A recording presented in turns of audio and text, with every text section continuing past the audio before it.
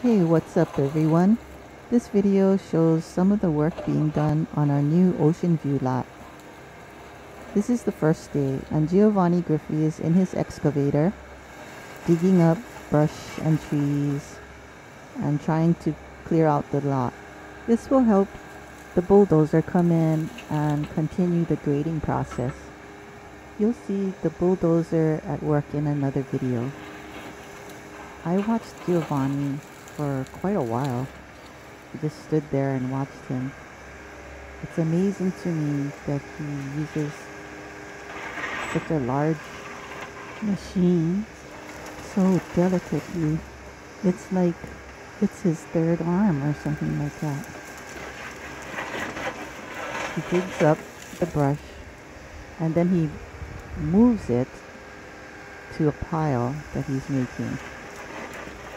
See how he's moving it?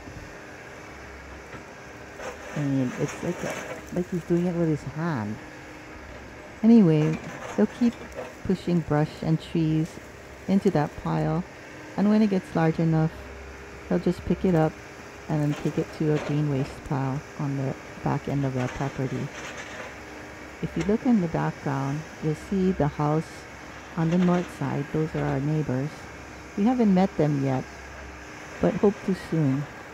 They own multiple lots, including the one that's right next to us, so we tried not to encroach onto their property. So what Giovanni will do is, after the pile gets large enough, he'll just roll on up to it and pick it up. Okay, watch how he does this. I don't know why I'm so interested in how he does this, but it is interesting to me. He's so skilled. So now he's picking it up just like a hand.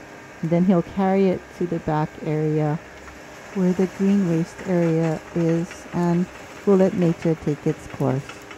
Thank you for watching. If you like this or any of our other videos, please like and subscribe. And we'll see you in the next one. Aloha.